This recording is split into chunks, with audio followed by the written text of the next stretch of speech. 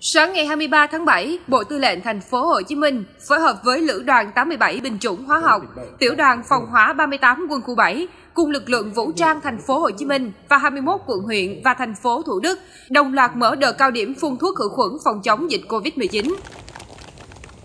Thiếu tướng Lê Ngọc Hải, Phó Tư lệnh Bộ Tư lệnh Thành phố Hồ Chí Minh cho biết, đây là đợt khử khuẩn quy mô lớn nhất từ trước đến nay trên địa bàn thành phố Hồ Chí Minh, diễn ra trong 7 ngày.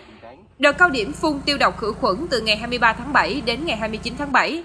Mỗi ngày sẽ có 20 lượt xe tham gia khử khuẩn từ 2 đến 4 quận huyện và thành phố Thủ Đức. Lực lượng chức năng đã chuẩn bị 6 tấn thuốc hóa học để phun. Từ ngày 27 tháng 4 đến nay, Bộ Tư lệnh Thành phố Hồ Chí Minh tổ chức phun thuốc trên 300 ha với 1.000 km đường. Trên 500 lượt xe và gần 2.000 cán bộ chiến sĩ tham gia, đồng thời cải tiến lắp đặt 35 bộ thiết bị bơm cao áp để phun tiêu độc trên địa bàn.